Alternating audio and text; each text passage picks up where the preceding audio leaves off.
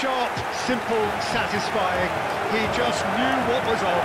Oh, look, there's only one player who merits all the praise for that. Not only did he finish it, but his instincts for being where he was, absolutely top-notch.